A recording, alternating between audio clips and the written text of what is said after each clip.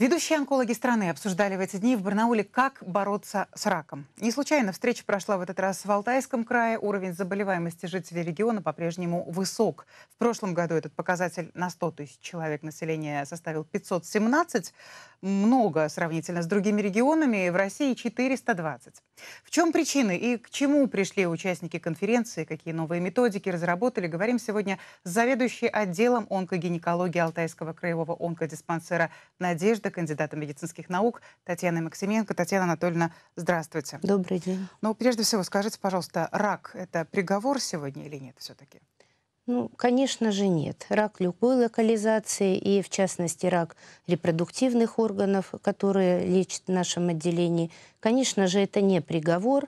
Вопрос стоит только в том, когда он выявлен, когда поставлен диагноз, на каком этапе назначено правильное лечение, и процент при разных локализациях выживаемости пятилетний общий значительно высок, в том числе сейчас много методик даже с сохранением репродуктивной функции. Вот на этой глобальной встрече, так назову, конференции, огромный блок был как раз посвящен онкозаболеваниям Проблемы. репродуктивной да. системы. Скажите, пожалуйста, насколько больше или меньше все-таки стали э, болеть женщины? Почему? В чем причины? Ну, заболеваемость растет, заболеваемость э, раком шейки матки, тела матки. Сейчас это бич современности, но тем не менее эти две локализации, они очень рано выявляются, особенно рак шейки матки инситу. Разрабатываются новые методики. Э, в рамках конференции у нас была большая секция по онкогинекологии. Приезжала профессор Кедрова, это ведущий онкогинеколог из Москвы. Красильников Сергей Эдуардович – это ведущий онкогинеколог Новосибирской области, поэтому ну, специалистам всегда есть чем обменяться, угу. какими-то проблемами, обсудить. Было очень много рассмотрено новшеств именно вот в химиотерапии, новые методики по лечению рака эндометрия, рака шейки матки, поэтому ну, достаточно вот говорите, плодотворная беседа. Вы говорите, растет. А в чем причины роста? Это выявляемость хорошая у нас стала? Ну, или... отчасти хорошая выявляемость. Ну и причины всем известны. Экология, репродуктивное поведение. Рак шейки матки, к сожалению, очень помолодел.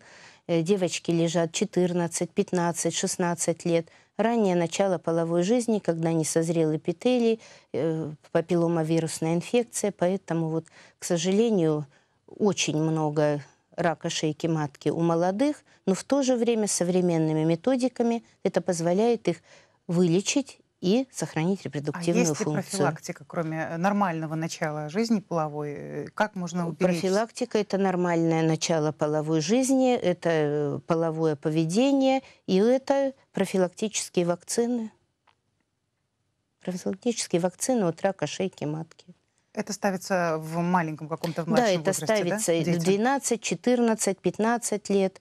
Э, ну, у нас реклама, не реклама, работают, поэтому да? работают. Вакцины, конечно же, работают. Татьяна Анатольевна, вы уже сказали, что было международное участие, да, и очень высокого уровня эксперты. Да. Какие новые технологии привезли, чему научили алтайских специалистов? Ну, вот так как конференция была научно-практическая, то в ее рамках прошел мастер-класс по фотодинамической терапии. Фотодинамическая терапия достаточно давно развивается у нас в Алтайском онкодиспансере. В основном это была локализация кожи. И вот в прошлую пятницу впервые мы пролечили трех пациенток фотодинамической терапии э, шейки матки. Ну, нам самим понравилось, мы сами потрясены, насколько это несложно, э, безболезненно, эффективно, э, с сохранением опишите, репродуктивной проходит. функции. Фотодинамическая терапия – это не хирургическое лечение рака шейки матки. Ну, примитивно говоря, если раньше нужно было вот эту вот небольшую патологию на шейке убрать хирургически – то вводится в вену специальный препарат фотосенс, который избирательно захватывается только поврежденными клетками шейки. Потом на место патологического процесса светится определенным лучом лазера с определенным диапазоном и деструкция именно избирательных клеток. То есть повреждается только то, что болит. То, что здоровое остается.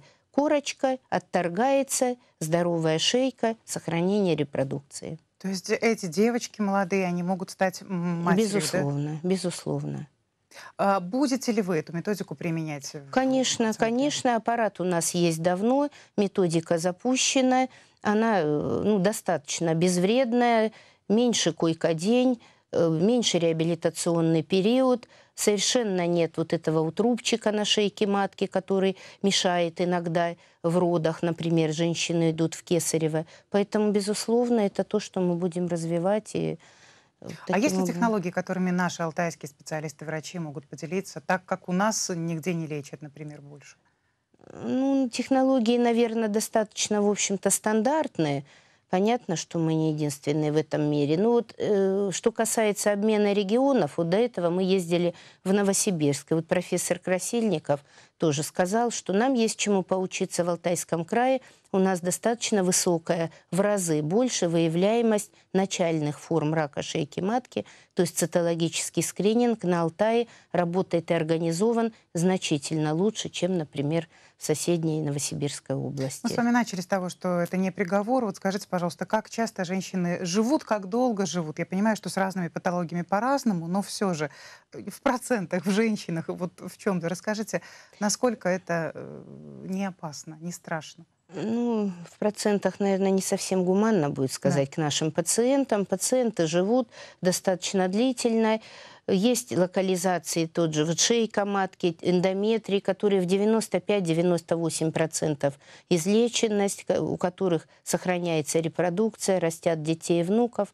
Поэтому, ну, резюмируя вышесказанное, на заболеваемость мы не повлияем, мы не можем изменить образ жизни, мы можем только регулярно показываться гинекологу, и заболевания, которые выявляются на ранней стадии, конечно же, они имеют гораздо более лучший жизненный репродуктивный прогноз. Я понимаю, что это все уже сколько раз твердили миру, но mm. все же давайте повторим. Как часто женщина должна провести какие процедуры у гинеколога? Гинекологу она должна показываться минимум раз в год по стандартам, лучше раз в полгода. Это осмотр гинеколога, УЗИ-диагностика, цитологический контроль шейки матки. Это несложно. На Западе это уже святая обязанность всех женщин репродуктивного возраста. соблюдая вот эти вот несложные совершенно постулаты, ну, практически невозможно пропустить начало заболевания. Благодарю вас за дело и за время, которое вы нашли, Спасибо чтобы большое. к студии. Спасибо. Это была программа «Наше время». Мы сегодня беседовали с заведующей отделением онкогинекологии Алтайского краевого онкологического диспансера «Надежда», кандидатом медицинских наук Татьяной Максименко. Будьте здоровы. До встречи.